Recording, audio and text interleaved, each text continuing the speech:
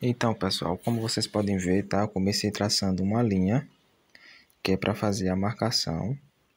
No caso, é, ela vai ter de comprimento é, 6 centímetros de, de largura, tá? 6 centímetros de largura e 8,5 de 8 centímetros e meio de, de comprimento, tá? 8,5. Daqui vocês vão ver fazendo aqui a marcação. E também no caso eu vou deixar no vídeo, tá? É, o, a largura e os centímetros. É só vocês darem uma pausada e ver direito. A maioria, pessoal, eu faço mais assim, é no olhômetro, sabe? Tipo, eu vou traçando, é, tipo, esse é o tamanho que eu faço das cartas.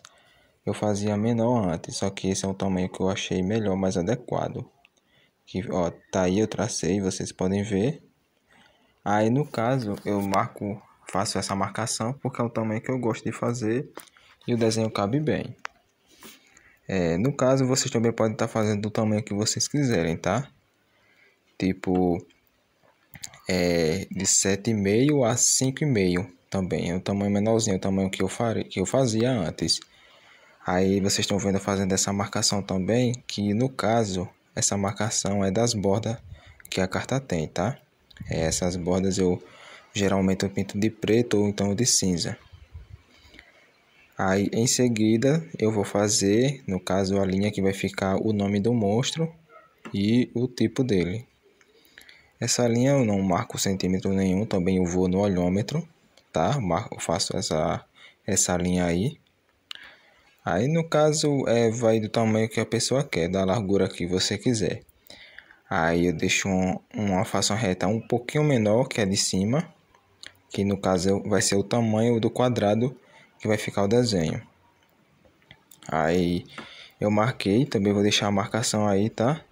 É, deve ser uns 5 centímetros. Aí, é, essa marcação que eu deixo, tá? Tipo, geralmente, esse é o tamanho que eu deixo. Se caso eu não for desenhar, quer dizer, não, caso eu não for fazer a descrição da carta. Se eu não fizer a descrição da carta, aí eu faço desse tamanho. Mas vocês podem fazer do tamanho que vocês quiserem. Como foi 5 centímetros, pode ser 4,5 se vocês quiserem fazer a descrição, porque tem que deixar um quadrado embaixo para fazer o ataque, defesa, descrição, o tipo do monstro. Aí possa ser que fique o quadrado fique maior e esse quadradinho de baixo ele fique muito fique muito pequeno e não dê para você fazer. Tá aí, concluindo o quadrado. Como eu falei, esse é o tamanho que eu deixo quando eu não vou fazer a descrição, que é para caber mais um, o, o monstro. Como é um quadrado pequeno, né, tem que fazer mais um pouquinho detalhado, tem que fazer menor.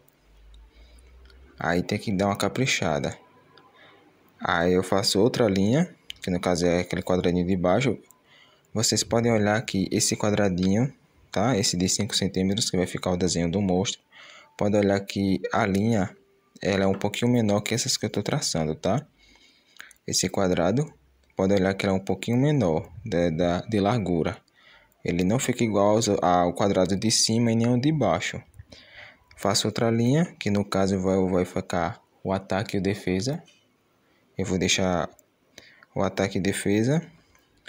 Aí também fazendo aqui os círculos, né, que é para o tipo do monstro fazer também o nível, que são as estrelinhas. Tá aí, nível 3.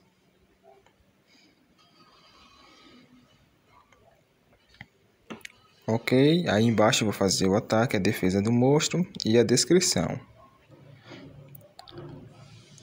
Tipo, é, como eu falei, tá? É o tamanho que eu faço. Vocês podem fazer do tamanho, é, tamanho que vocês acharem melhor. No final do vídeo, eu vou deixar uma imagem, tá? com a largura de tudo que eu, de, que eu fiz aí. Se caso vocês quiserem pegar por esse tamanho que eu faço. Aí vocês podem pausar o vídeo, tá? Vou deixar é, por alguns segundos a imagem no final do vídeo. Daí vocês pausam, pausam e podem copiar do tamanho que eu faço. Tá aí concluindo.